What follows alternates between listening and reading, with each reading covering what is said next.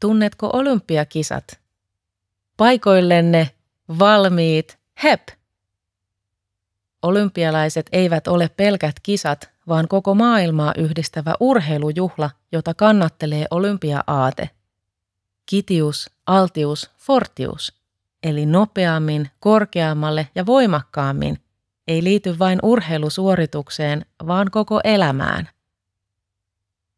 Antiikin Kreikassa kisat järjestettiin olympiassa, mutta modernit kisat kiertävät ympäri maailman – Rauhaa symboloiva olympiasoihtu sytytetään edelleen olympian lehdossa auringon valosta.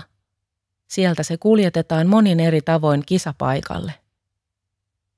Olympialaiset saivat alkunsa lähes tuhat vuotta ennen ajanlaskua. Kisat olivat ensimmäiset ja arvostetuimmat ja niitä järjestettiin neljän vuoden välein. Nykyaikaiset olympialaiset aloitettiin vuonna 1896 ja ensimmäiset liikuntavammaisille tarkoitetut kisat eli paralympialaiset 1960.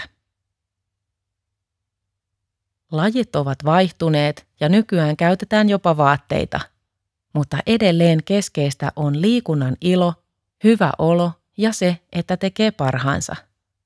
Tärkeintä ei ole voitto, vaan osallistuminen. Kuten olympiassa aikoinaan, Yhteen kokoontuminen mahdollistaa kohtaamiset, keskustelut ja yhteenkuuluvuuden tunteen. Olympialiike koskettaa kaikkia. Tiesitkö muuten, että Olympic Solidarity tukee varustehankinnoissa ja kisamatkoissa mahdollistaen tasavertaisen osallistumisen kisoihin?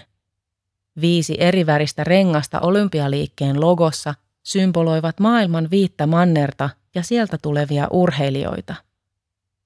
Miten tämä liittyy sinuun? Olympia-aatetta voi toteuttaa jokainen. Kunnioitus, ystävyys ja parhaansa yrittäminen ovat tärkeitä arvoja ja ne koskettavat meitä kaikkia. Urheilussa kunnioitetaan vastustajaa taustasta, ihonväristä, uskonnosta tai politiikasta riippumatta.